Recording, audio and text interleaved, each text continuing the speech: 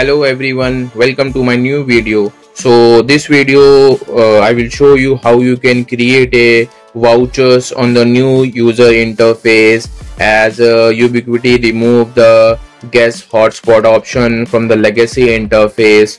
Uh, i've already made a video on this how you can create a, a guest hotspot uh, portal uh, depending on the authentication like what authentication you can use. Uh, you can check that video uh, it will be at top on the i button. You can just go ahead and check. So this will be a revised video. Uh, so i will uh, show you how you can create a vouchers for single use multi-use unlimited. So yeah.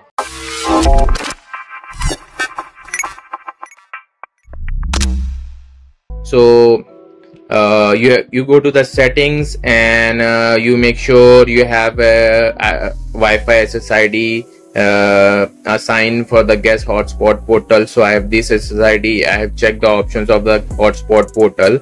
So once uh, this option is checked, so uh, which means the um, guest hotspot uh, portal is enabled. So uh, I've checked these options and I've given the SSID name and I've set the Wi-Fi band and everything's like uh, uh, uh should be the same. Like uh, uh, in the guest hotspot portal i'm using voucher base as a authentication. So the security protocol i've set it open. But if you want you can set a double security protection like a wpa2 yeah it depends. So i've created this SSID once you create uh, guest SSID on the new user interface you will see the hotspot manager on the left hand side. So here you can uh, set your landing page authentication and everything.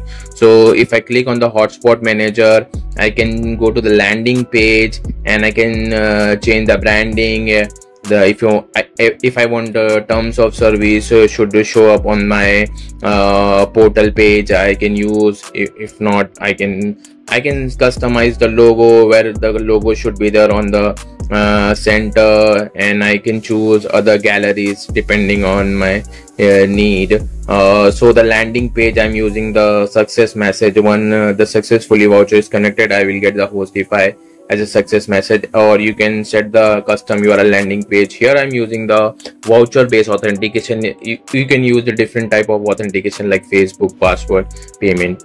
Yeah.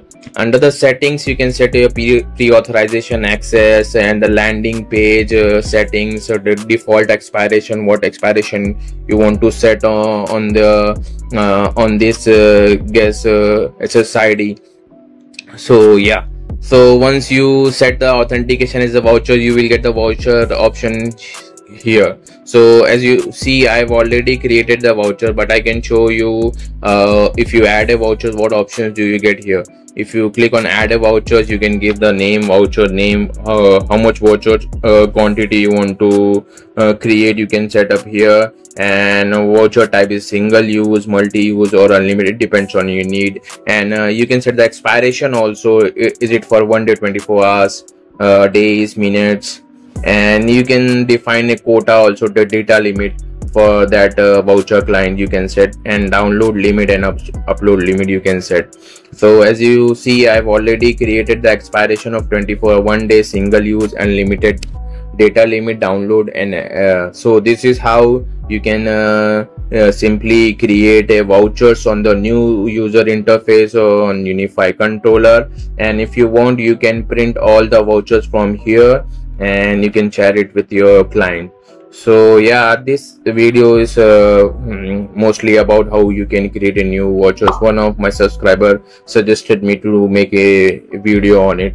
So yeah that's it for today's video. Let me know if you have any doubts and questions. You can comment down.